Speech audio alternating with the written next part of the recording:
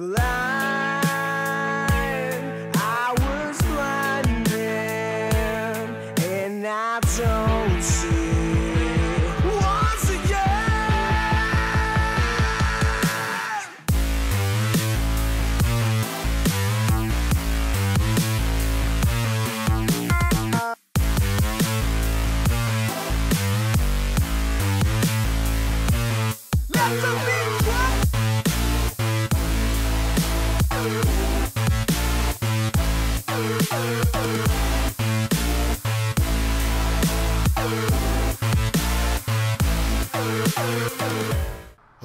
Hello, Factionistas, and welcome back to the 31 Days of Halloween, which is a new tutorial every single day, and today is a gargoyle.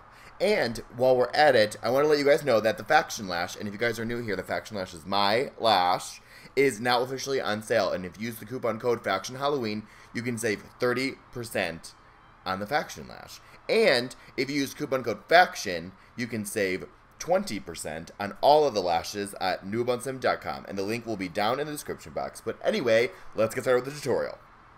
So, I'm starting off with Mehron's Paradise paint in gray, and these are water activated paints. They are not the same as the Halloween store grease paints, but you guys can use them if you would like, but set it with powder or it's going to slip around. So now I'm going to use a grease paint, which you can use one from a Halloween store. I'm using a white grease paint on my cheekbones to highlight my cheekbone. So we're officially going to highlight like all those glam girls in the world, but a little bit demonic. And I'm also going to place that in my nose, but a cool little trick is we're going to do something a little bit different. So I'm going to now scrunch my face, and I'm going to apply that same face paint on top of where we just applied that highlight. So when I relax my face, it's going to show cracks and divots, and it's going to look like aged and very textured. And that's going to be our guideline for the rest of the makeup. Leaving that alone for now, though, we're going to go onto the forehead, and I am going to start creating these forehead crease divot lines so it looks like I'm giving expression all the time, when really I'm not. So I'm using this liner brush from Tarte with a black eyeshadow or a black eyeliner or anything that you have, and I am going to sketch out these lines on my forehead. They don't have to be that dark, and the, the least amount of dark, it's better, so it's going to blend more cohesively in with the forehead, and it's going to look more realistic. So now I'm taking that same cream paint that we used on the upper cheekbones and the nose, and I'm applying that in the center on the only one side of that black line. So what you're seeing is my right side of my forehead. I'm only applying the highlight to the right side of that line. Does that make sense? So you see a line, apply it on the right side, on the right side of the forehead, and apply it on the left side of the left side of the forehead. Does that make sense? That's going to give the illusion that it's coming outwards and it's a natural crease or divot in the skin, and it's going to look, you know, more cohesive with the rest of the makeup. But now I'm just creating more lines as I go on through the eyebrow, and you guys can do this however you like. So now I'm using the Sigma Effects 3 brush, and if you guys are special effects makeup artists, want to be a special effects makeup artist, or are looking to expand your kit, this brush is a must. It comes in the special effects kit section for Sigma, and I use that one brush the entire tutorial. So I'm going back in now with a liner brush, and I'm going to accentuate these white lines in the same way we did in the forehead. Boom, boom. It's easier when you have the white, the highlights already existing. So on the nose and the uh, crow's feet area, like that is going to be an easier side because all you have to do is just shade those already highlighted areas. Do you feel me? Do ya? It looks very blue, but my face looks very blue toned, but that's because the uh, auto white balance on my camera has been acting a fool lately. But it's it's definitely a little bit more of a neutral gray tone in real life. But now I'm highlighting the crow's feet area the same way that we did with the nose and the forehead. And that's essentially the technique I use on the entire face, aside from the cheekbones. So I'm going to highlight now my smile lines, and I'm going to bring that right into my nose to give that very furrowed, very uh, animalistic expression. And then once we have that highlight, we are going to then go in and contour it with shadows. But I'm using the same white cream from this Mehron palette, and now I'm going in that same Mehron palette, and I'm using this dark gray, and that's going to be our midtone. So we're applying highlight, then we're going to apply midtone, and then we're going to apply shadow.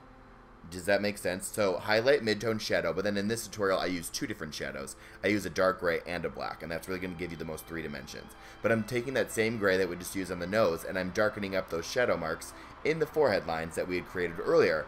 And the more colors that you have, the more uh, spectrum of depth, whether, so if you have a black, a gray, a mid-tone gray, a darker gray, and then like a white, like do, does that make sense i feel like i said that weird if you have like highlights and midtones and uh, all the different tones and textures and colors you can put in that's going to make it more look realistic because it's going to be a lot of dimension Anyway, I'm highlighting the nose on the nostrils and two points in the center of the nose, and then I'm going to contour that with the midtone shade, which is that gray shade from earlier, and I'm going to shade those areas to make those highlights pop. You feel me? Cuckoo. Going back into that same Mehron grease paint palette, I'm going to take those highlight shades again, and I'm going to start doing the cheekbone. So I want you guys to focus on traditional highlight and contour that you see in beauty videos. That's exactly what we're doing here, but we're doing it in straight, jagged lines. So I'm taking that same Special Effects 3 brush, and I'm applying straight, jagged lines in all those areas that I would traditionally contour in beauty. Then taking the midtone shadow, which is this darker gray, and I'm going to uh, break up that white highlight, and I'm going to start adding transition in down to the lower cheekbone where it's going to be black. So it's going to be black and it's going to fade up to white. So now I'm adding the midtone to one break up the highlight as well as transition into the darker shades. So now I'm taking the black from this palette, which I know comes up as a gray. I know that, so I'm using it on purpose because it's not that pigmented. So I'm using that darker gray now, or we're going to call it a darker gray, even though it looks like black in the dish. I'm taking that darker gray and I'm further extending out, breaking up those highlights, as well as further transitioning into the darkest shade to really give you that cheekbone without sacrificing any texture. We don't have any soft lines in this whole makeup. Now I'm taking the Black Primal color by NYX, which is a very pigmented face shadow, and they come in a wide spectrum of colors. And I'm taking that black one to get the darkest shade possible. And then I do have a umbrella lamp on my left hand side, which is blowing out all of the color. And so I'm going to turn that off so you guys can see that what it really looks like because it's a little bit too much. There we go. See? There. Better? Better. So now we're going to do, with the mid-tone gray again, we're going to carry that all the way up to the eye. So we're going to add wrinkles underneath the eye, enhance those crow's feet, and really tie the entire face together. So this entire makeup is a lot of repetition. It's essentially the texture marks that we left on the forehead, nose, crow's feet, and the straight line texture marks that we are going to create on the cheekbones and all vice versa. So you want to just use that and just explode it all over your face. But now I'm taking darker shades. I'm taking that mid-tone gray and that darker gray, and I'm applying that in my inner brow bone to add depth as well as in my eyebrow to bring that eyebrow back to life because we covered it with gray face paint. You feel me? This is all about texture. Almost, I like love my texture. You guys know me.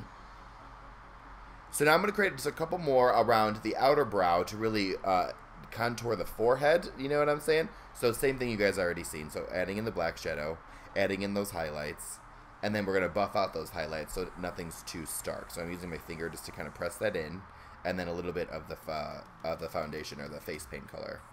Boom, boom. So I added these white contacts, which I'll have linked down below. They're from Camo Eyes. And now from there, I am contouring the jawbone with a black, and then I go in with a little bit of highlight to break it up. Now I'm using this NYX Jumbo Pencil in dark brown, and I really liked choosing dark brown because since it's all monochrome on our face, having a little bit of warmth in that eye area, I find really adds a lot of interest and depth to the overall look, which I like and now I look super blue because my white balance is stupid. But anyway, I'm blending out that liner now with that same Special Effects 3 brush by Sigma, and I'm doing that in the same bottom lash line.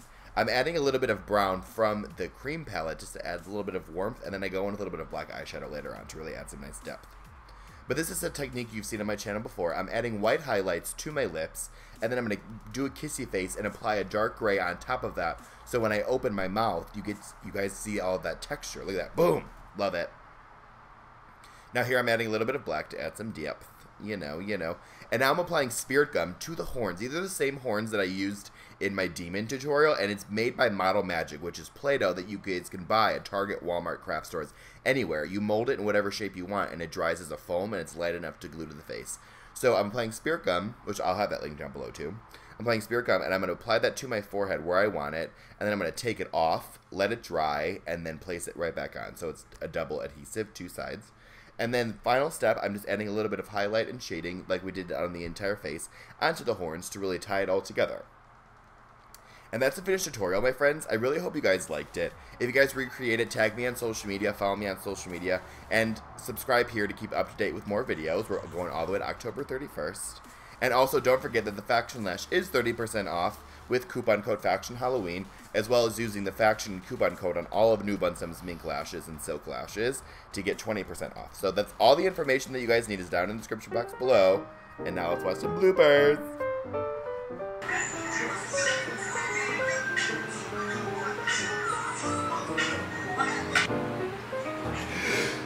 I have like permanent stank face. I'm not even making stank face. I was not planning on going this detail. I think it's great. I think it'll be an awesome addition to everything else. Very different from what. Right. Right. Alright.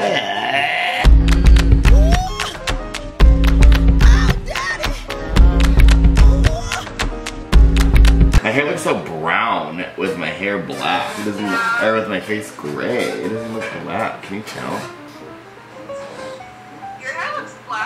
It looks brown. Like in real life, like it's got like an auburn. Like and when my face is regular colored, it looks black. But like right now, it looks like really brown. Should add black to it to make it like black black. Oh no, it's fine. It, it looks black at the camera. Oh, Yeah. oh, sh- I'll take one your word. It's so funny because obviously. Am I behind? Whatever. I'm first in my head, okay?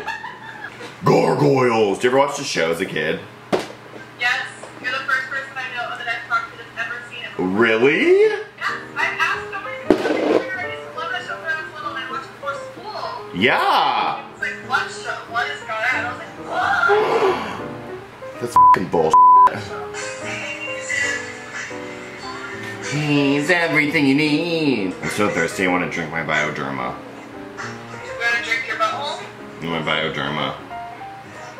Ew. It's just like mineral water. Sensible H2O. It says H2O on it. I wonder if I can drink it. Doesn't say I can't though, so.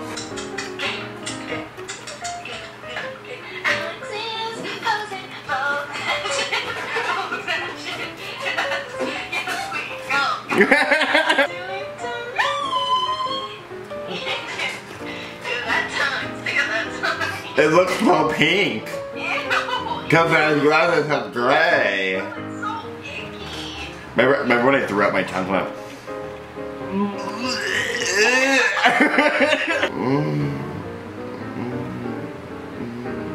you know, models moan to make their poses look more realistic, and like they're like the the photographer's like three, two, one. You go three, two, one. it like looks more like you got a dick in your butt.